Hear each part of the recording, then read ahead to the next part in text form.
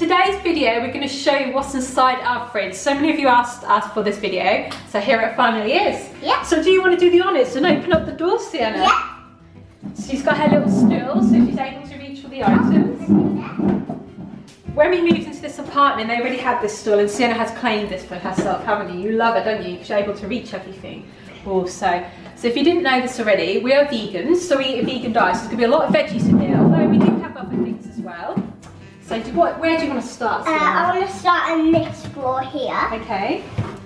So what we have got is a big sweet potato. Yes. I and love sweet potatoes. These are known as batatas here in the Canary Islands, and I think they're grown here. And these sweet potatoes are one of our favourite types of potatoes. We have these with nearly all of our meals. And how do you like Mummy to prepare these?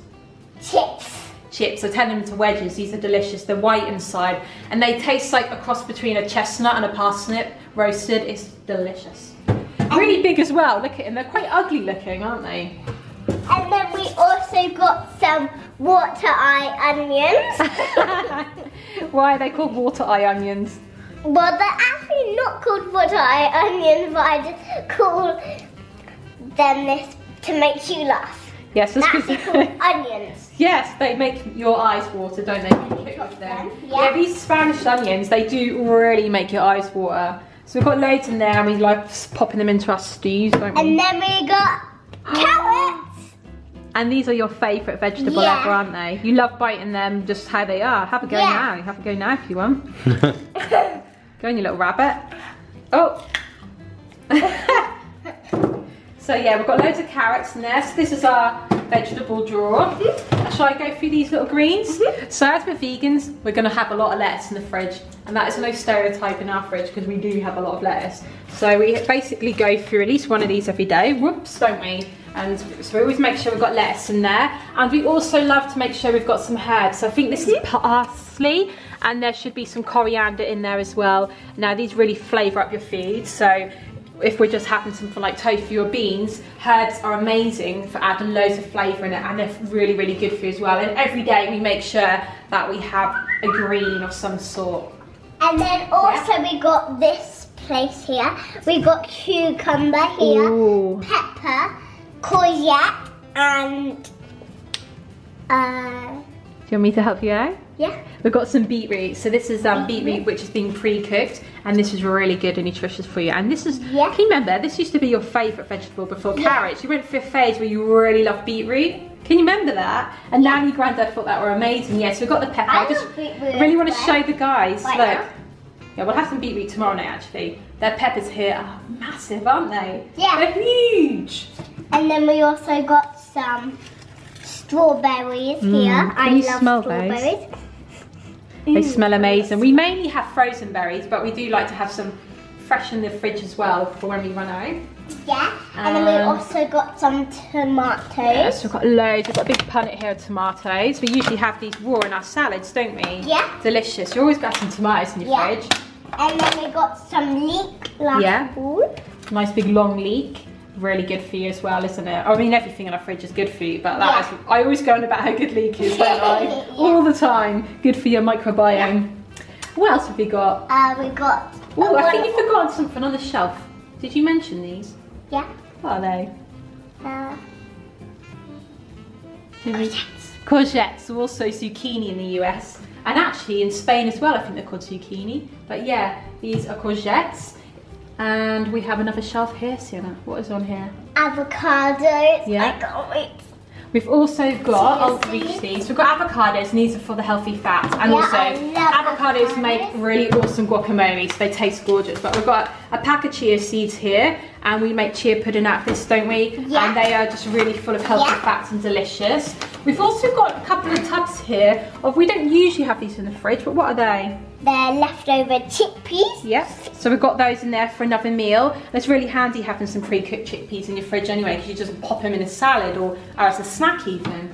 And then we also got some leftover, uh, what's it called? Lentil Like- stew. Yeah, lentil stew. Smells delicious. We had that for dinner, didn't we? But we Yeah. had loads left over because we've got a fridge now, because in an old place we didn't have a fridge. But lucky. That's another story though. And this time so we can store our leftovers in here. And also at the back here, we've got another packet of some of what we use for healthy fats. And what is that, Sienna? It is flaxseed. And it's been Yeah. pre-ground. Yeah. It's really important to have your flaxseed pre-ground because that way, then your body absorbs all the healthy fats and the nutrients from it rather than it just being pooed out. That's what happens. You just poo flaxseeds out if they're not ground up. So we've got that there as well. And on the top shelf, do you want me to lift you up? yeah. Yeah. we got some yogurt, soya yogurt. Yes. And then we got some hummus here. Yeah. So that it comes in a nice little, Yeah. like, what do you call it? A ceramic pot, which is really yeah, nice. Yeah, and I want to show you. uh, mm, mm, huh. well done. Hummus, yes. So, and then we got some soy milk yeah, here. we've got loads of soy milk. We like to keep loads of cartons in the fridge, so it's nice and cool for when and we then need we it. also Oh, got what else have we got? Do you me to help? Tofu. Yeah, we've got some tofu here as well. We love having tofu for the protein. And yes, there's another stereotype. And yes, we do eat a lot of tofu as well. So we've got some packs there. And obviously there's all the soya milks. And this is another soya bean product, which is the soy yogurts, which Sienna mentioned. These are really delicious to have. We These aren't a staple of ours, but we do like to have these now and then. It's a nice little dessert or something. It's a nice little creamy dessert. And these are really good um, um, dairy milk substitute for yogurts if Then you're interested. Now in our here. door. we got some soy milk again.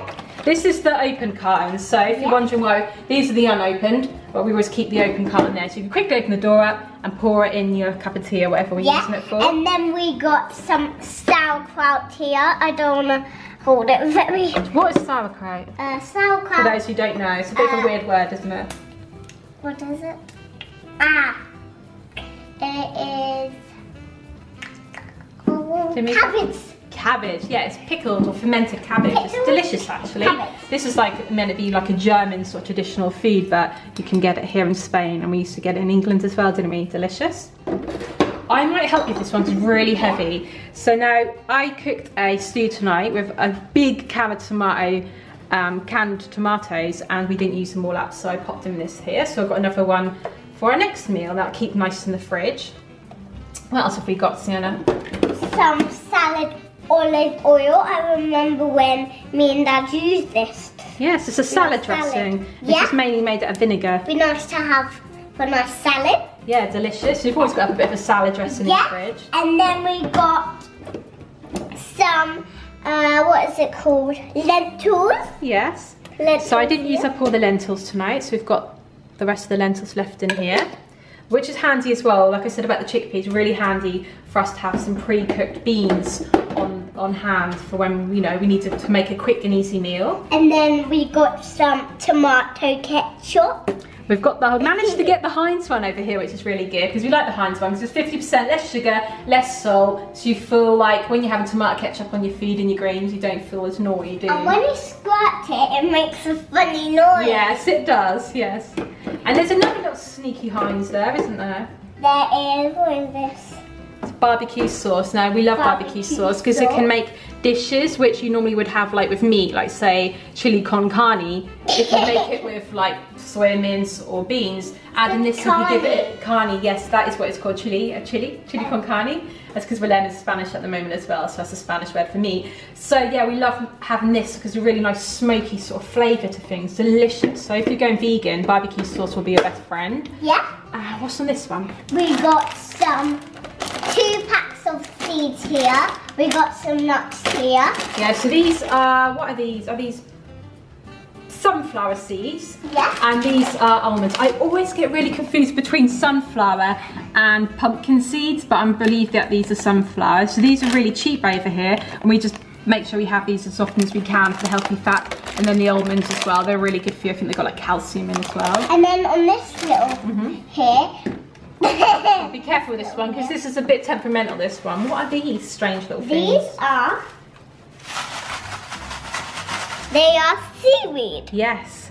Now we try and have a little bit of seaweed once a week for the iodine, so that's really good for you. And then we've got these, what are these jars here, Sienna? Jam. That is pineapple jam Yeah, here. delicious. They have pineapple jam over here, which is pretty awesome. And then we got some raspberry jam here. And I like these jams because I always make sure I'm looking just for either if it's just made out of fruit sugars or it has normal sugar in it because sometimes they can have like glucose fructose syrup and we try and avoid that as often as we can, especially if we're having it every day. Sugar is healthy. Yeah, we try and make sure we go for the more um, like more natural sort of types of jams and ones without gelatin in, but these all got fruit pack And then we So got this, can I just quickly say something? This is like this top shelf here is like a little health boosting shelf, isn't it? Yeah. What is in here then? Right. This is some oil, uh, oil-free fish vitamins. Yeah, so instead of having cod liver oil, we essentially have these for the omega-3 fats, and this Yeah. is by Opti3, and you can buy this online. And if you're wondering, and what's that? Sim? Then That's we got strange looking thing. It's a gingery, Yeah. and we like having this because it helps fight inflammation if you've got a cold or sore throat or cough. Just slice this up and turn it into a tea, or you can just have it on its own. I won't get you to bite this in front of the camera. And then also, what goes really well with ginger is this. What is that? Lemon. Yeah, so ginger lemon, really good health booster. Great way to start the day as well, isn't it? Yeah. And we've also got this long pack here of what? Garlic. Garlic. What does that do? What's it good for?